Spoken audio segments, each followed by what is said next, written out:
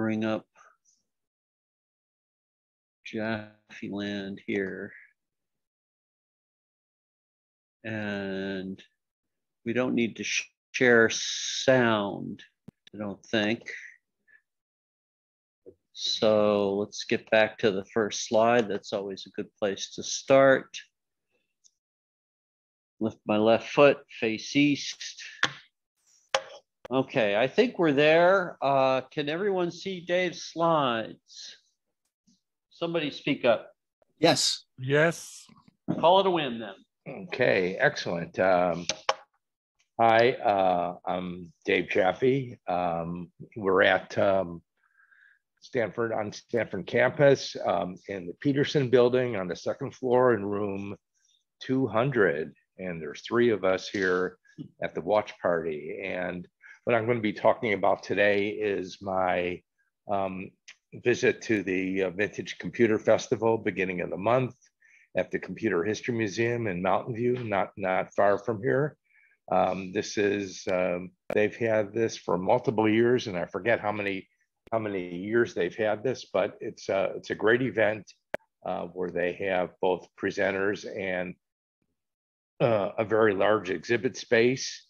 Uh, I try to get there early to uh, uh, before it's too crowded to uh, take pictures of everything. And um, my presentation today is to show you those pictures. Um, please be advised that I may not remember what I took a picture of or what it is or details about it. So um, I apologize. I pre-apologize for that. So let's let's uh, let's turn on the presenter number one. Okay, well, here's some of us. Um, here, there's uh, Strick on the left. There's Kevin, and there's there's me on the right. Um, and um, yeah, that was um, at the museum. So the first thing um, is this guy is selling all these computer books, and he's got boxes of them, and he's been in that same position every year. Um, and uh, selling them for uh, one or two dollars each. That's the Friends of the Palo Alto Library. Right. And there's actually some Forth stuff there. So um, um, their Forth was represented at the um, at the festival.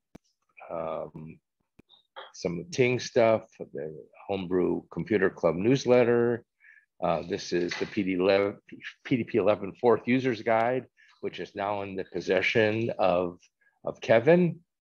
Um, and um, just, uh, some other Forth stuff, uh, Forth Dimensions, um, for FORML proceedings. And, uh, and here's Dwight Elvey, another fourth person who was there. He was managing a uh, room where people were selling, uh, where I think it was just one guy that had uh, reserved a, a, whole room to sell his stuff. And these pictures are from that room. Um, he had. Uh, some, what was managing the consignment room? Yeah. Where a, there were multiple people. Right.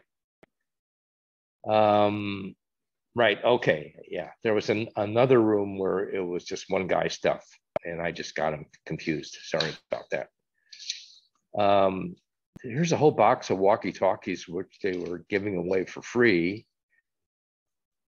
And uh, right outside the room, there was a bunch of uh, t-shirts, uh, com older computer t-shirts, if you remember uh, CompuPro and Cromemco. Cromemco was actually um, in this area in Silicon Valley.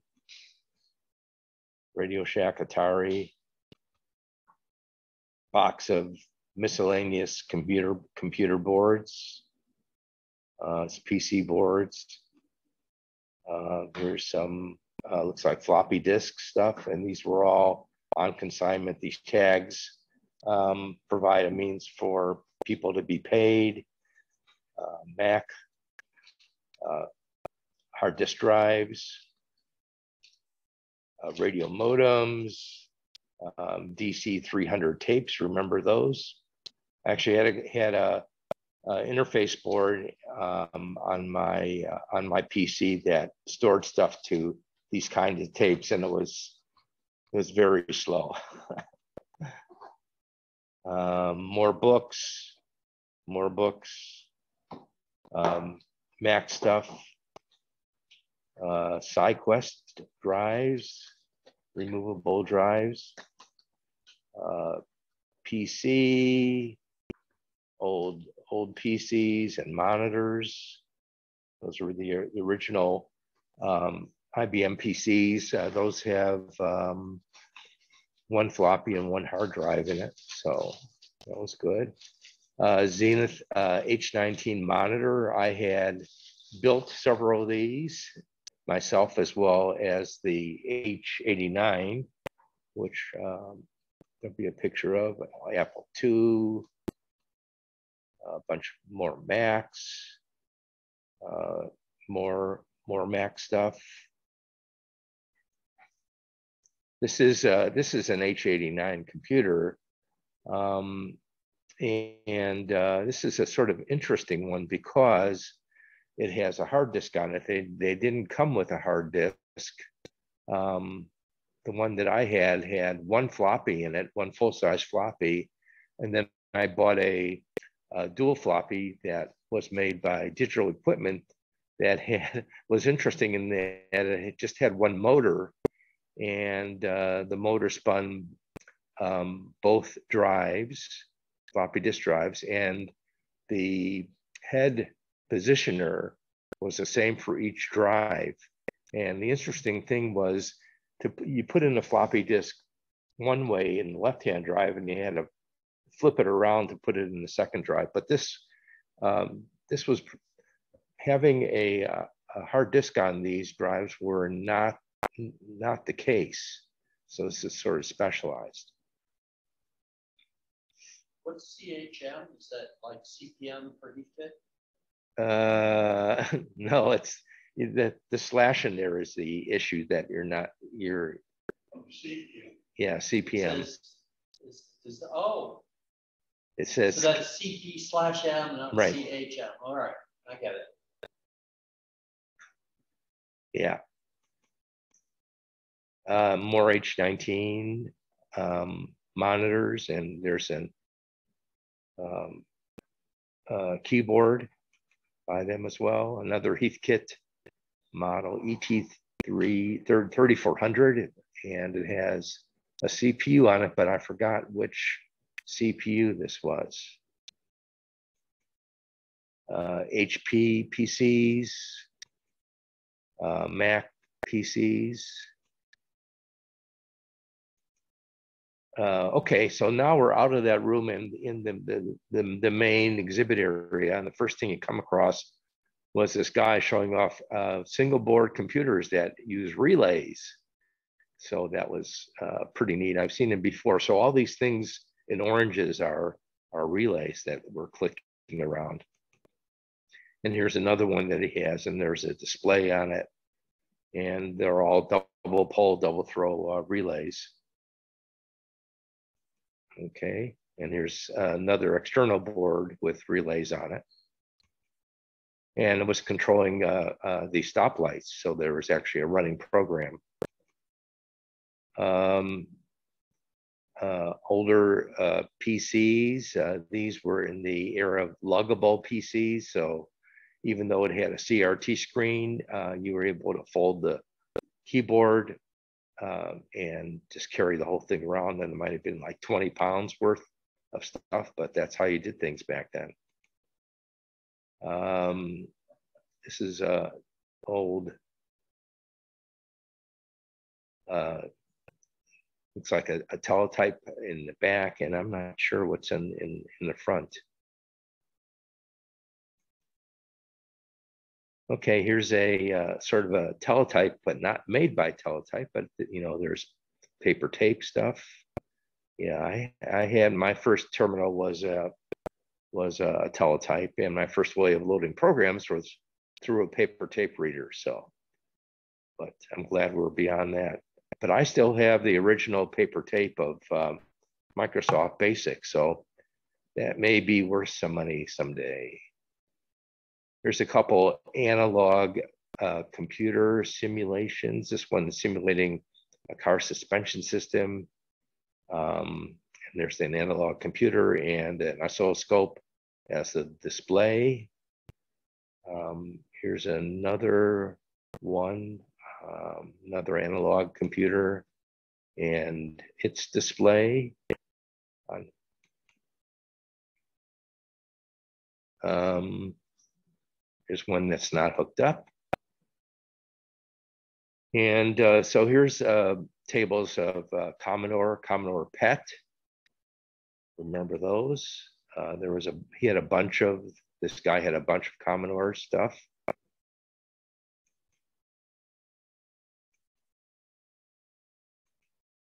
And this was the, the first one, as you can recall, it had a built-in cassette player recorder for saving your programs, and it had these terrible chiclet keyboard uh, that was rapidly, you know, changed to a full-size keyboard later on. But here's one, you know, uh, still running.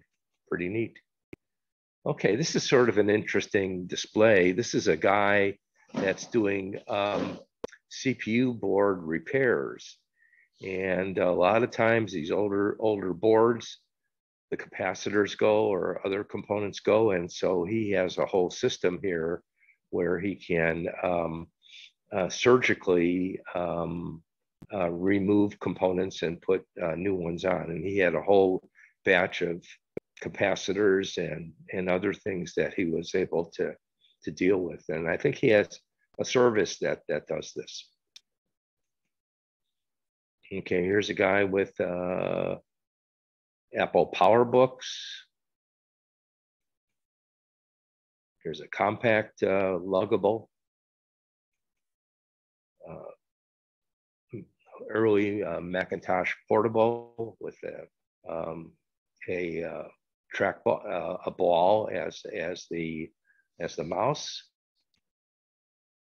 Okay, this one, um, I think it's a yeah. This is an an old IBM portable with a orange screen.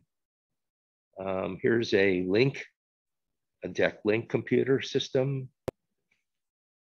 Um, and they had this, um, as you recall, it had a, a, tape interface. And this one apparently has um, um, an oscilloscope as an output device. The backup one? Yep. Over to the right, there is a DEC MINC, sort of successor to the LINC. It's a laboratory computer with an LSI 11 in it. Thank you, Kevin.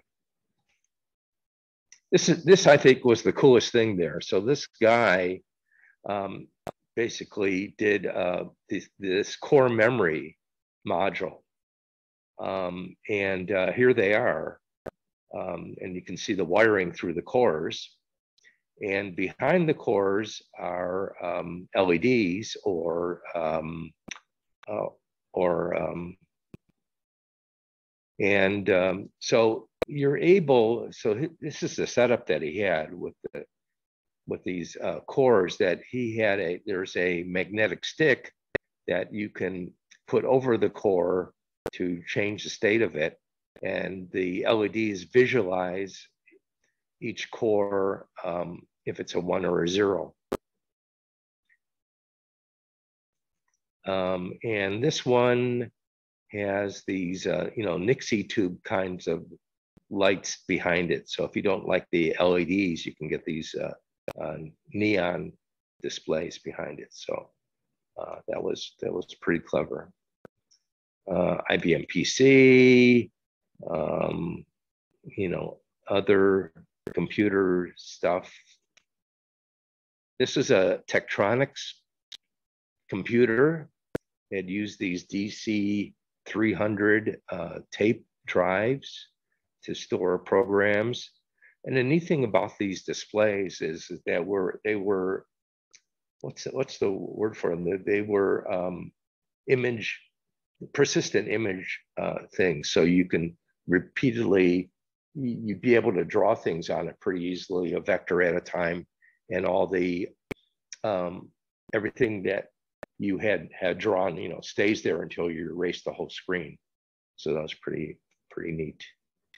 This is an H8 computer that um, had not only a front panel uh, input, uh, but also you could connect it to a terminal and it ran, ran uh, Intel processors. Here's, um, these are the uh, PC Junior um, computer on the left. And uh, another, another version on the right. This is a Radio Shack uh, TRS-80 portable. Um, it had an 8085 computer in it. It had a modem in it. It had a four line um, display, I think 20 characters per line. The neat thing about this was that it ran out of off of four AA batteries. It had its own built-in basic uh, program and uh, was very, very portable. So actually, uh, reporters use these to write their stories. You know, when when they're um, um, when they're out reporting and it back to their newspaper. I had a similar laptop made by NEC that you know ran the same um, version of BASIC in it, but it had cursor control keys on the left, and I actually adapted a version of Forth to run on it as well. So um, yeah, a bunch of these. Here's some more Commodores and some other miscellaneous computers. Um, and uh, this on the left here is a, a NeXT computer, a NeXT computer. And you might have remembered, you know, some of the advertisement where instead of mounting it like this, they mounted it on a corner. So that was pretty neat to, to see that again. And uh, a Hector computer, I forgot what this is. Uh, I think this was from the UK. Not sure what processor was in it. um, some other computers. This is a, a, a, uh, board that ran, ran, Pong, and so they had that there and we were able to, to play it. Um, yeah, I'm not sure about, about this stuff now. It's been a while.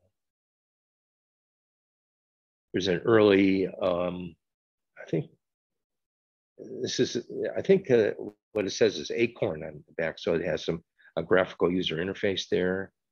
Again, I'm sorry that I I I couldn't you know remember everything and have details about all these computers.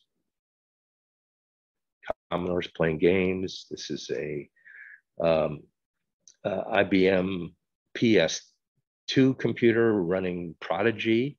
So somebody has reimagined that um, bunch of um,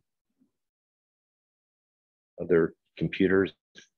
Oh yeah, this is uh, DEC Alpha, Motorola 68K, Motorola Power Stacks, a bunch of Motorola computers. This is um, Tandy Radio Shack color computer, which is very popular back in the day. IMSAI, uh, S100 computer.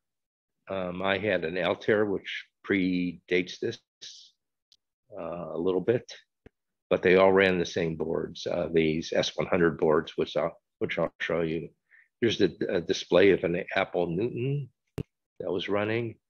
This guy, this guy had a, uh, this is a, um, a um, Otrona uh, computer, two floppy disks, um, like a Z80 CP/M operating system. Um, I had one of these at work. These are very uh, nice portable computers. Um, they worked out pretty well. Um, I think they had an orange screen um, on this. So this guy had one and uh, the power supply wasn't working and he was considering using, you know, just using, you know, plugging in a, uh, getting a switching power supply and plugging that in to make it to make it work. So IBM PC. This is an Apple one board behind a plexiglass screen. There's a auction company that uh, manages auctioning off, um, you know, rare stuff like this. So they had a couple, couple Apple One boards there. Uh, here's an Apple One board uh, running. And I think this is another one as well. Uh, remember these Apple computers uh, in a plexiglass box? Yeah, those were neat. Uh, this here's some um, Modems. modems. Yeah, yeah, with acoustic couplers. That was my my first modem had an acoustic coupler that I made from scratch. Um, right, more of the same. Ah, okay. uh, this is a Radio Shack uh, pocket computer, and I actually have one of these. Um, and it ran BASIC. It had a one-line uh, display, uh, had a calculator in it, and um, so the neat thing was I used this as a calculator for a long time because um, um, you know you can enter a very long line of, of numbers and then press you know plus and add them all together rather than in a calculator you have to and you know enter the numbers one at a time and then plus at the end. And um, um, so yeah so i still have this. And the issue with the one that i have is that the display lcd display is um, is not working anymore. It just uh, got it's just not produce readable letters anymore so unfortunately yeah. Okay here's a bunch of uh, apple ii computers. I think we're in the, in um, a, a consignment area there's a monitor and on the right there's an s100 computer and here's a couple tables worth of s100 boards uh, from blank boards to memory boards to all sorts IO board. It's good to see those again. Uh, IBM uh, PC on the left, another kind of PC on the right with floppy disks. Yeah, here's the boards from the other side of the table. S100 box with uh, floppy disks and, and boards in it. Another H19 terminal, another S100 box, Toshiba laptop, Atari, uh, um, ink. No, these were dot matrix print, sale, yeah. dot matrix printer, nine pin, uh, some um, calculators, They went And- fast. yeah, abacus, um, yeah, slide rule. Uh, Kevin bought one a few years ago from these guys. Um, evaluation system, and it looks like a 6802 um, CPU on this one. Um, not not sure about these computers. There's something computer running basic program. And here's the next uh, another view of the NeXT computer. And I think that's it. So uh, thank you for watching. Would you stop sharing it, giving it, give it